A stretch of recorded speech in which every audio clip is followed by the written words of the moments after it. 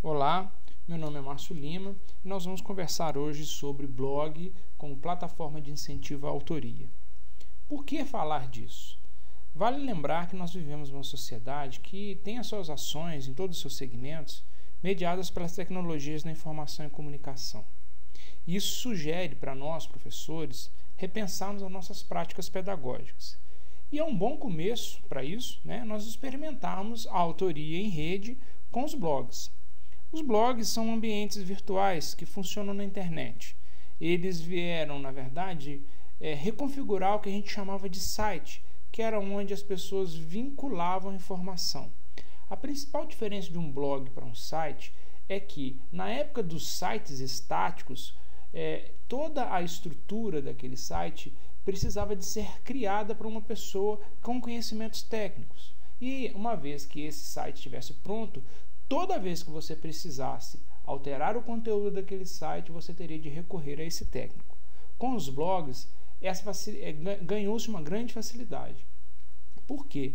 Uma pessoa que não tem conhecimentos técnicos pode efetivamente criar o site e dar a sua manutenção. O que eu estou chamando de manutenção? A pessoa pode veicular a informação nesse ambiente, compartilhar com todo o resto da internet sem precisar de ter conhecimentos técnicos. Então, esses blogs são geralmente gratuitos, eles possuem um endereço único que você cria, ou seja, você vai ter um endereço que é o http barra barra o nome do seu site, ponto alguma coisa na internet, né? E você vai poder, com esse blog, veicular as suas informações em diferentes formatos. Por exemplo, texto, imagens como fotografia, esquemas, desenhos, mesmo áudio e até vídeo. Tudo isso é feito de uma forma muito simples é, e fica, inclusive, aberto ao comentário de outras pessoas se o usuário assim o desejar. Então, vamos passar agora para a construção de um blog. Nós podemos utilizar diferentes gerenciadores de blog. Mas para essa videoaula nós vamos utilizar o WordPress. Para isso nós vamos precisar de um browser, que pode ser o Internet Explorer, o Mozilla Firefox ou mesmo o Google Chrome, que é o que nós utilizamos aqui. E para isso nós vamos digitar na barra de endereços o endereço do WordPress, que é wordpress.com. Isso feito, nós vamos chegar na página principal, né? E a primeira ação que nós temos de fazer para facilitar para nós é exatamente passar essa página para português. A tradução não é 100% fiel, mas já ajuda bastante. Para isso, basta a gente clicar aqui nesse link português e automaticamente o WordPress vai ser reconfigurado, traduzindo né, a, a maioria de seus termos para a nossa língua, que é o português. Como nós não temos ainda é, um endereço né, de, de blog, nós vamos, na verdade, criar esse blog, nós precisamos então iniciar uma sessão. Como é que eu faço isso? Basta eu clicar aqui nesse botãozinho aqui em cima, iniciar sessão, que automaticamente ele vai levar para a porta de entrada para a criação do blog. Para criar o blog, nós na verdade precisamos já ter um e-mail cadastrado, porque é através do, do e-mail que haverá a, uma forma de interação nossa, enquanto proprietário do blog, com WordPress. Então ele precisa de que nós digitemos ou tenhamos um e-mail para ele poder dar acesso à criação do blog. Nós então nós podemos, se já tivermos né, esse e-mail, é, fazer esse cadastro. Mas para isso nós vamos precisar aqui, ó, clicar nesse botãozinho aqui embaixo, que é o registrar, porque nós ainda não somos usuários do WordPress. Após clicado nesse registrar, ele vai pedir um cadastro pequeno, onde você vai escolher o nome do seu blog e aqui nós temos que atentar que é o nome que você vai utilizar para divulgar é, a seus amigos, aos seus alunos, o endereço do blog. Né? No caso aqui, eu estou usando curso magistra e automaticamente ele vai assumir .wordpress.com porque é a plataforma gratuita com a qual nós estamos configurando esse blog. É, o nome do utilizador, você pode colocar o seu, não necessariamente ele precisa ser igual, né? E ele vai te pedir uma senha. Mais para baixo nessa tela, ela vai pedir e exigir de você um e-mail que já tem que ser é, seu, obviamente, e logo depois disso você basta clicar aqui nesse botão de Create Blog, né, que ele já vai automaticamente e gratuitamente criar o blog para você. Quando isso você preencheu essa ficha anterior, ele vai te levar para uma placa, para uma, desculpa, para uma tela de confirmação. Nessa tela ele vai te mostrar, né, te dar a possibilidade de você preencher mais dados sobre você e vai te dizer que já enviou para o seu e-mail que você indicou anteriormente uma mensagem para você ativar a sua conta. O que é ativação? Enquanto você não receber esse e-mail e confirmar que você realmente deseja criar o blog, ele não vai criar o seu blog. Tá? Ele é, coloca uma estimativa de chegada da mensagem de 30 minutos, mas é praticamente instantâneo. Caso você não receba né, ou precise mudar o seu e-mail, se você rolar a barra, a barra nessa tela, ele ainda te dá a oportunidade de você trocar o e-mail, mas não é necessário.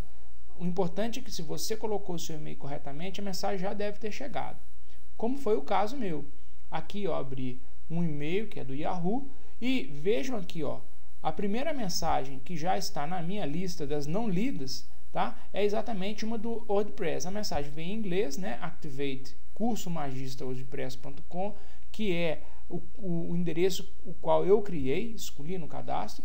Então, eu, eu abrindo essa mensagem, uma mensagem curta, né, que vem lá agradecendo a você e te dando a oportunidade de você ativar o seu blog clicando nesse botão que vem na próxima na própria mensagem. Ao clicar, o seu blog já vai ser já vai ter sido criado. É fácil mesmo. Você agora não se preocupe com essa tela que vem, porque é em cima dela que nós vamos conversar daqui para frente para manter e veicular a informação no seu blog.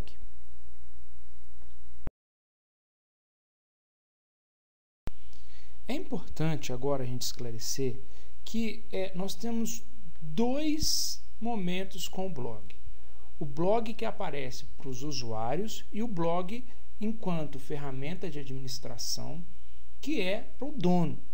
Esse painel que nós estamos olhando, identificando agora, é o ambiente de administração do blog. Ele serve para o dono, para o proprietário do blog. É aqui que nós vamos colocar o conteúdo que vai aparecer efetivamente para as pessoas que visitarem o blog. Mas dá uma curiosidade, né? Uma vez que eu já disse que o blog já estará criado, com os passos anteriores, e a gente vê esse blog. Então, para a gente chegar nisso, nós vamos deixar um pouquinho esse painel e vamos ver qual que é a aparência desse blog. Então, eu aconselho a vocês a abrirem aqui em cima, né, digitarem o endereço do blog de vocês, né, para vocês terem acesso e observar como que ele está no momento. Por padrão, olha, eu eh, coloquei como endereço né, o curso magistra.wordpress.com.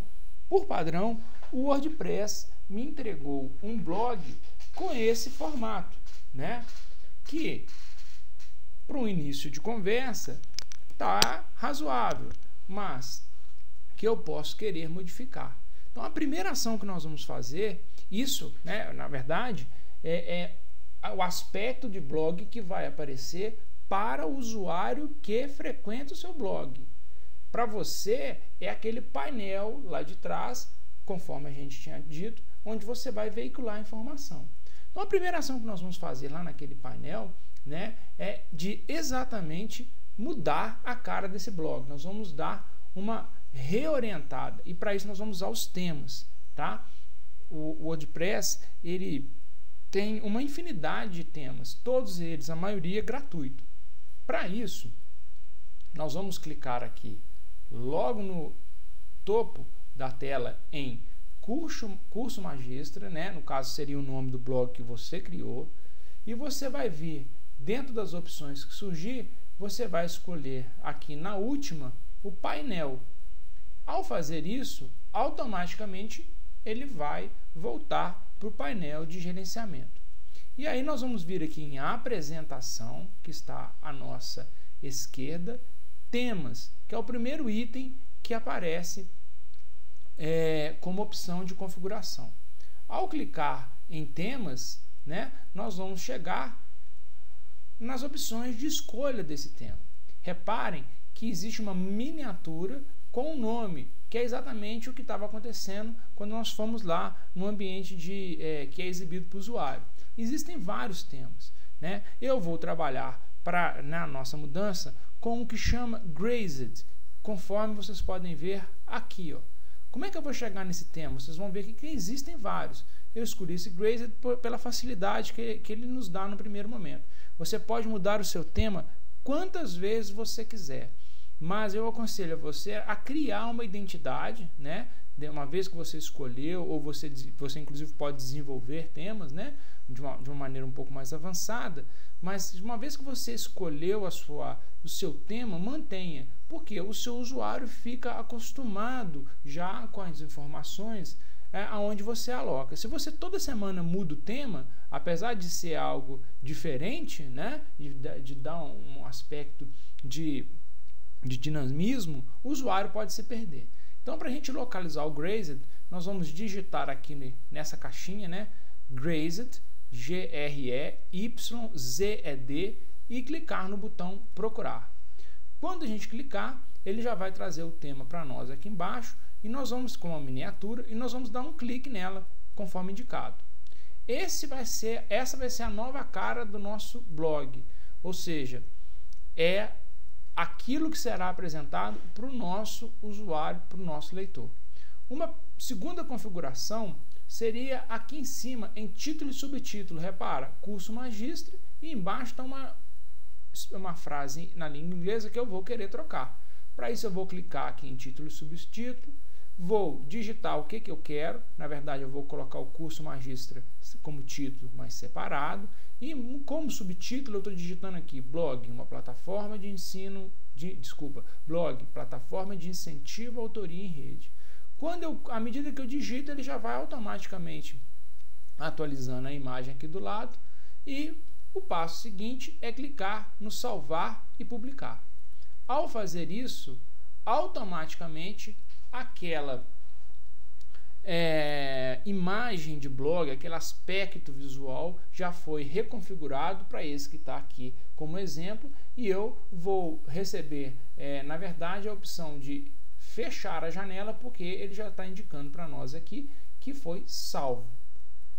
Quando eu, eu fecho, eu volto ao painel de configuração e ele já fala para gente, olha, as suas é, opções né, foram guardadas e o tema foi ativado. Na verdade, é um português de Portugal, né? E você pode, inclusive, para matar a sua curiosidade, clicar no link que ele te oferece, que é de ver o site. Vamos fazer isso. Tá aí, ó. O seu site agora está exatamente conforme o modelo. Simples. Basta escolher então o tema e aplicá-lo que você vai ter o seu blog de acordo com o seu gosto, ok?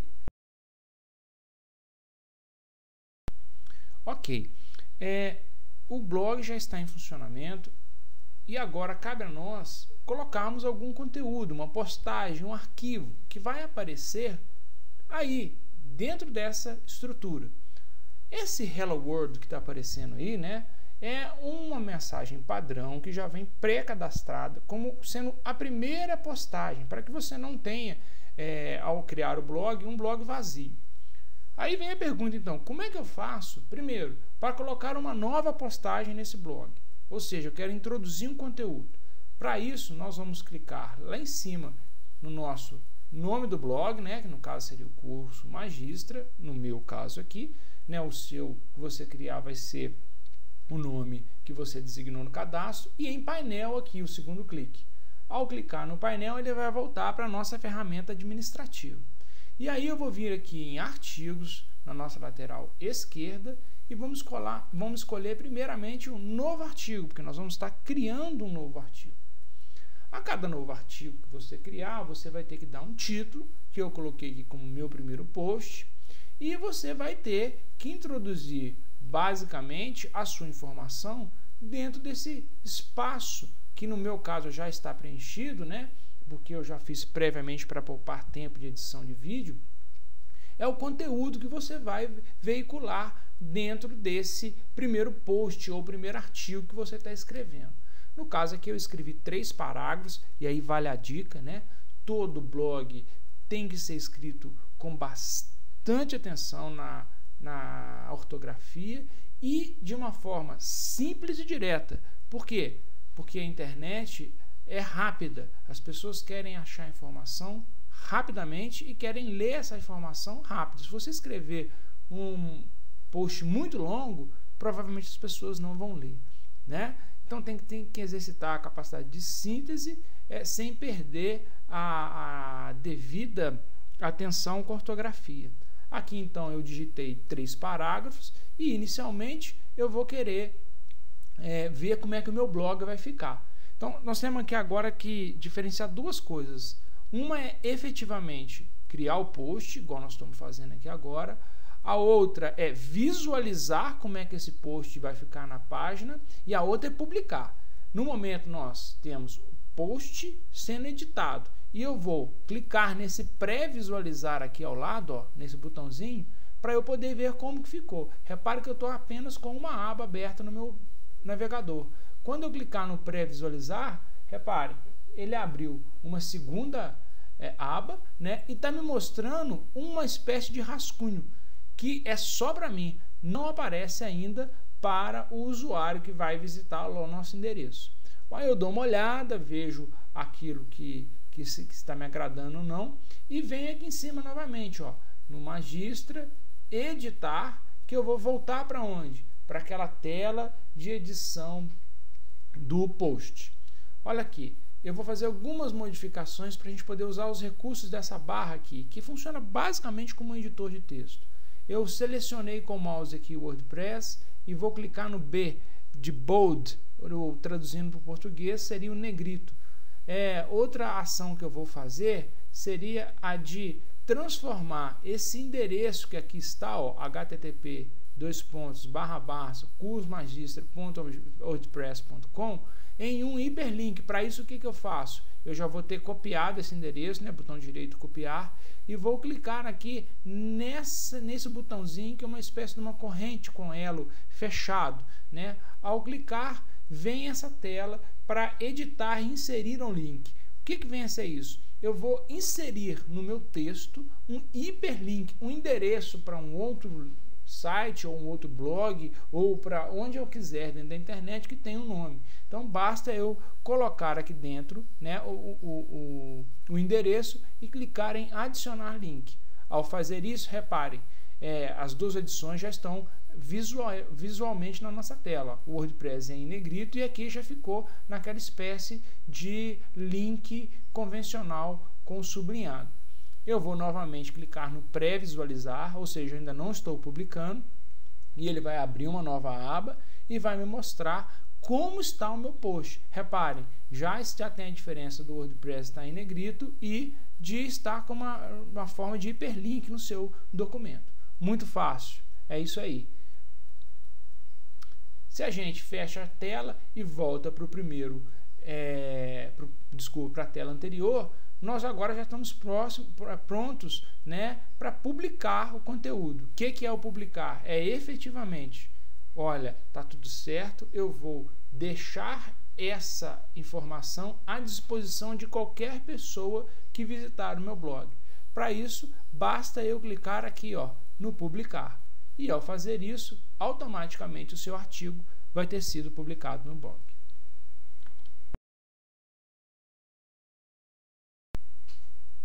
Uma vez que você clicou no botão publicar, ele vai te conduzir para a tela de confirmação, que é, é totaliza para você quantos posts você já tem, quantos artigos né, você já tem publicado no seu blog, no caso aqui são dois, o que você acabou de fazer, mais aquele Hello World que é o arquivo é, que vem junto da, da configuração inicial. E você vai poder agora usar o recurso de etiquetar. O que, que é isso? Em inglês, etiquetar é traduzido como tag. Né?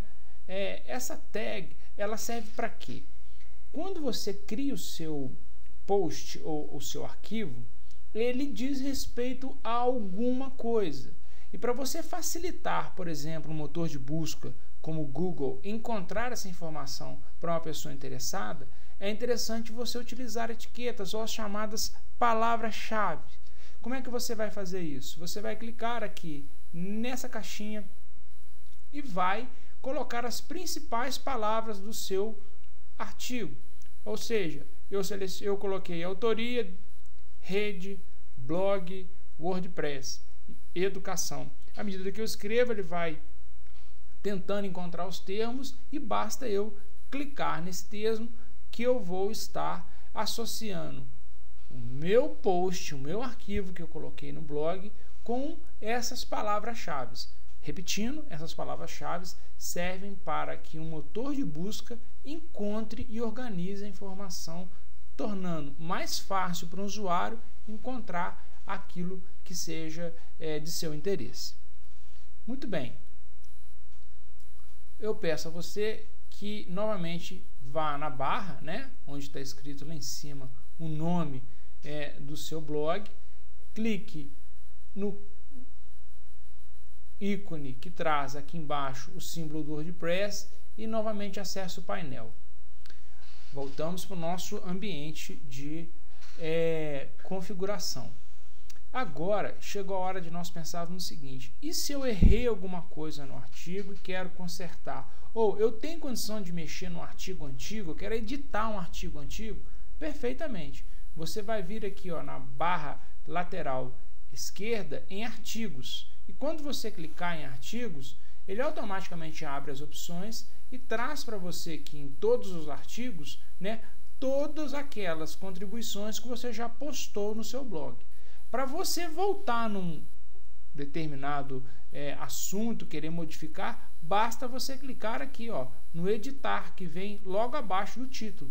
Ao fazer isso, ele vai abrir novamente a tela de edição para você poder modificar aquilo que você bem desejar. E aqui agora eu vou é, introduzir o conceito de categoria.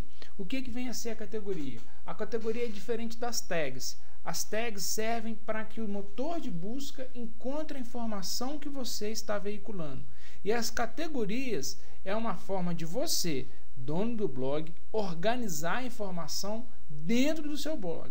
Por exemplo, numa sala de aula, você pode ver, ter um blog para a sua disciplina e disponibilizar diferentes conteúdos. Por exemplo, explicações teóricas sobre um tópico da unidade curricular, alguns exercícios, trabalhos, notas. Não seria interessante então a gente criar categorias para falar, olha, esse arquivo ele é de explicação ou esse arquivo ele é de é como exercício. E toda vez que um aluno ou um usuário quiser acessar e procurar só os exercícios, basta ele dentro do seu próprio blog clicar no local onde as categorias vão estar e todos os, os posts ou artigos relacionados à categoria deles vão aparecer. Então, se ele clicou lá em exercício, todos os seus posts de exercício vão aparecer para ele de forma cronológica e ordenada. Para você adicionar uma categoria, você vem aqui né, na lateral direita em adicionar nova categoria, escreve o nome e manda clicar aqui adicionar nova categoria. E, imediatamente, quando você faz isso, ela já aparece aqui dentro das caixas de categoria. O que, que você faz? Você vai e marca, né, clicando aqui é, é, no, no, no, na caixa de verificação, que ela já fica automaticamente é, salva como é, relacionada, relacionando o seu post a uma determinada categoria. Você pode ter mais de uma, mais de uma categoria relacionada a um post. Mas no, no exemplo que eu estou dando aqui, né, seriam explicações, ou exercícios, ou trabalho, que são coisas diferentes umas da outra, você teria apenas uma categoria para cada é, artigo feito. Ok? É importante a gente não esquecer de atualizar, uma vez que eu modifiquei, né, não modifiquei o conteúdo, mas modifiquei alguma coisa que diz respeito ao conteúdo, clicar no botão atualizar para que ele grave isso e é, a, sofra a modificação no blog. Bom, pensando novamente nas ações de edição dos posts já existentes, agora nós vamos fazer duas coisas. Primeiro, modificar um post anterior, né, que é aquele Hello World que vem configurado no WordPress, e depois nós vamos modificar o nosso primeiro post, é, inserindo nele uma imagem. Para isso, eu vou vir aqui no barra lateral esquerda, tá? É, em todos os artigos e vou dar um clique. Em artigos, todos os artigos. Vem aqui o resumo daqueles posts que eu já efetivei. Vou editar né, aquele Hello World antigo é, para a gente trocar, né? ou a gente podia até inclusive excluir, mandando ele para o lixo. Né? Mas eu vou editar rapidamente para a gente poder é, modificá-lo e deixá-lo como segundo post. Para isso, basta eu clicar aqui no editar. Então, o que, que eu já fiz aqui? Eu já troquei o, o, o título de Hello World para o blog e de, tirei, né, apaguei aquele texto que o WordPress trouxe, colocando um texto da minha autoria. Automaticamente, né, isso ainda não foi atualizado no, no, no nosso blog. Hein? Se você entrar no blog nesse momento, o que vai estar lá é aquele Hello World ainda. Para que eu possa atualizar, eu tenho que clicar no botão aqui ao lado, atualizar, para que ele efetivamente grave. Ao fazer isso, ele vai ter efetivamente publicado, né? E vem essa mensagem amarela aqui. Vamos agora então voltar na tela anterior, clicando aqui em todos os artigos, para a gente colocar dentro do meu primeiro post, né? Que é o, o, o primeiro artigo que eu efetivamente criei, né? Vamos aqui editá-lo. Vou colocar uma imagem. Para isso, a gente tem que estar tá atento ao seguinte: para eu incorporar é, no, no, no, meu post alguma imagem, algum som, seja lá o que for, eu tenho que estar de posse ou saber onde está essa imagem. Tá? O exemplo que eu vou usar aqui agora é de veicular dentro do meu post tá, uma imagem que está no meu computador, gravado numa pastinha. Tá? Então eu já tenho a imagem, sei aonde ela está. Para isso, eu reparem aqui, eu abri um enter entre os dois parágrafos, um espaço com enter, né? E vou colocar ela centralizada, é uma imagem que inclusive é a logomarca do WordPress, tá? Então o que, que eu vou fazer? Eu vou clicar aqui em cima, ó, nesse primeiro, fica meio escondido, né? O botão de mídias, né? Carregar mídia. Então o primeiro é para carregar exatamente a fotografia. Quando eu clico, ele abre uma janela, que é essa que você está vendo aí, né? E você tem como é, oportunidade, né? Carregar qualquer tipo de arquivo com essas extensões aqui, ó. A imagem de JPG, né? O GIF, um PDF, um doc. Só que você tem apenas 3 GB, né? Ele tem uma limitação de espaço, mas é, é um espaço considerável para se trabalhar numa disciplina. É, então, o que, que a gente vai fazer? Nós vamos clicar aqui ó, no selecionar ficheiros. Quando eu clicar nesse selecionar ficheiros, ele vai abrir uma janelinha onde eu vou clicar na imagem que eu já tenho gravada no meu computador. Isso poderia ser uma fotografia, um documento que eu tivesse feito, enfim. Ele tem que estar gravado no meu computador, eu tenho que saber onde ele está. No caso aqui eu já coloquei direitinho, né, a imagem WordPress, que é o nome da pastinha.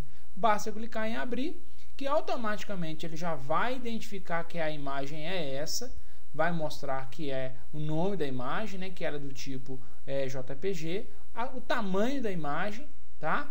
E aí ele vai me pedir um nome para essa imagem, porque ele já traz é, como padrão o nome do arquivo, e aí eu vou colocar uma legenda. Essa legenda é importante porque se não for uma imagem da sua autoria, é aconselhável e muito aconselhável é, que você explicite a autoria. Então eu já coloquei aqui logomarca do, pré, do WordPress e a minha fonte dessa imagem foi a 3chanced.com, tá? E aqui embaixo eu vou é, especificar em que lugar eu quero que essa imagem apareça dentro do post. Repare, eu posso colocar ela é, à esquerda, no centro, à direita e em tamanho original, médio ou grande que, que eu escolhi aqui? No centro e vou colocar no tamanho original. Quando eu clicar em inserir no artigo, automaticamente ele já volta para a tela de edição, já incorporou a imagem que eu é, especifiquei naquela janela com a, a, legenda e agora o passo seguinte é de eu mandar ele atualizar né, para que efetivamente essa imagem apareça no blog. Quando eu faço isso, ele vem a, novamente aquela telinha com a confirmação em amarelo, né? E eu vou pedir para ver essas alterações aqui, né? Poderia ter feito isso também aqui no ver artigo. Quando eu clicar aqui na pré-visualização, ele já me mostra o meu post, né, com a configuração anterior e com a nova inserção da imagem, ok? Um passo importante que vem agora é o de você sair do seu blog, da ferramenta de administração do seu blog, na verdade. Né? Esse passo é fundamental, porque se você deixar o seu blog é, com a ferramenta de, de gerenciamento ativa, qualquer pessoa pode entrar no seu blog e apagar os seus artigos ou escrever coisas que você não gostaria.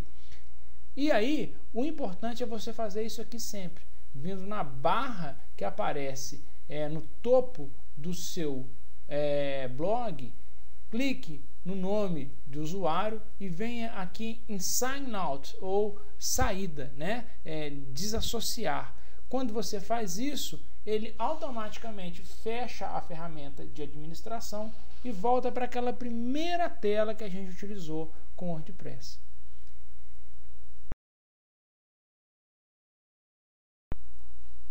Uma vez que você finalizou a sessão, você sempre que quiser voltar a seu blog, seja para administrá-lo, para colocar um novo post, você vai ter que acessar o endereço wordpress.com, sempre utilizando o seu navegador de preferência. No nosso caso, nós estamos usando aqui o Google Chrome.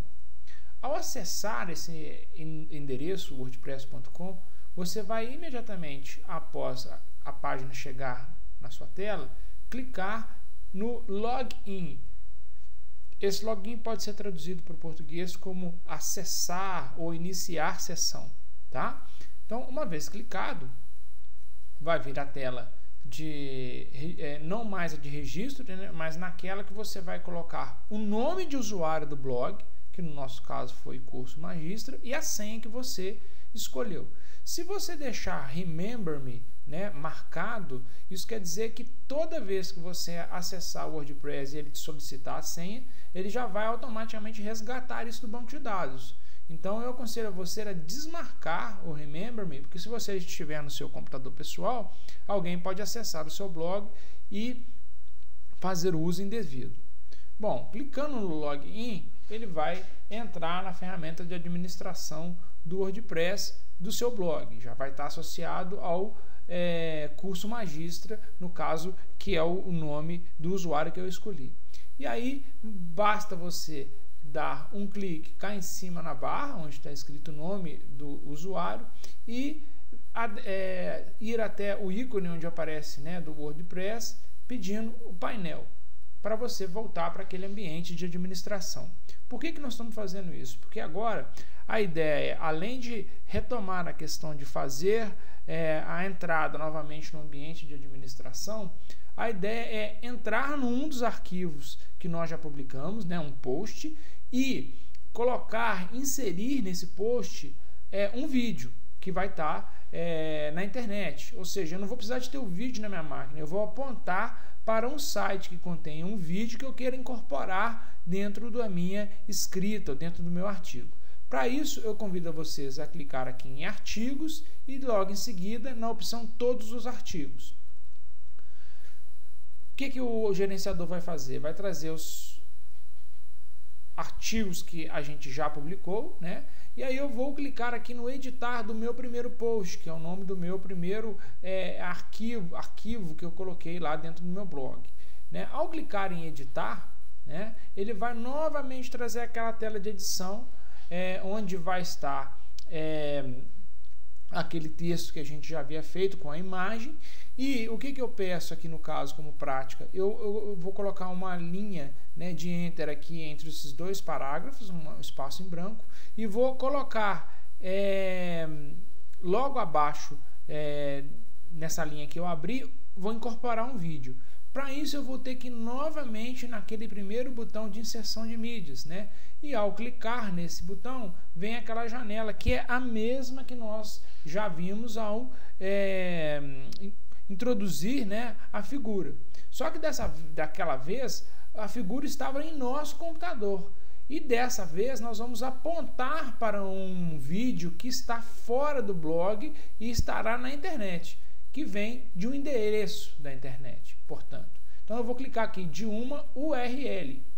Quando eu clicar nesse nessa aba, né, a janela que vai ser apresentada é essa. Repara, eu posso até indicar uma imagem também, ou seja, a imagem não precisa estar no meu computador, eu posso buscar a imagem de um outro site. Mas no nosso caso aqui, nós, o que nós vamos querer fazer é adicionar o vídeo, né? Então seria nessa segunda opção. Ao marcá-la, a tela que vai vir vai ser essa, um pouco mais sintética. Basta eu ter o endereço chamado né, URL, que é o www, ponto, né, o, o endereço do vídeo, colocá-lo aqui. Como eu não sei isso de cabeça, o que, que eu fiz? O que, que eu aconselho a fazer? Bom, basta eu abrir uma nova aba e ir até o YouTube, por exemplo. Localizar, por exemplo, aqui fez uma pesquisa de uso do blog na educação. Encontrei o vídeo que eu queria, que era o salto para o futuro. Já estou vendo esse vídeo, vi que ele é, é, é compatível com aquilo que eu quero. Eu copio esse endereço com o botão direito, né? cliquei com o botão direito lá, é, e venho o que? O copiar. Eu já trago esse endereço novamente para o meu blog, então mudo de, na verdade, de aba e colo esse endereço na URL. Quando fizer isso, né, digito aqui Prática Pedagógica com Blog, que é um título para esse é, vídeo, e peço para inserir no arquivo, colocando um clique nesse inserir no artigo. Bom, reparem aqui que ele já voltou para a edição do blog, né? e já incorporou uma linha, o vídeo não aparece, né? Isso é importante dizer. Essa linha que está aqui né, é, é destacada e, e, e, com YouTube, né, foi de onde eu puxei com o endereço do, de, do vídeo que eu quero incorporar. Isso vai aparecer aqui na escrita, nós não precisamos é, ficar assustados com isso. Mas quando eu mandar atualizar os, o, nosso, o nosso post lá no, no, no blog, o que vai aparecer não vai ser essa linha em, em formato textual, mas sim o vídeo. Para isso, eu vou rolar a barra de, de rolagem aqui na esquerda, né? Vou subir e vou pedir ele para atualizar o meu post. Ao clicar no atualizar, ele vai automaticamente confirmar o artigo foi atualizado e eu posso acessar aqui, ó, no ver artigo, como ficou o meu blog. Tá aí, ó. O blog já tem né? É logo abaixo daquele link que eu tinha colocado o vídeo que ele trouxe lá do YouTube.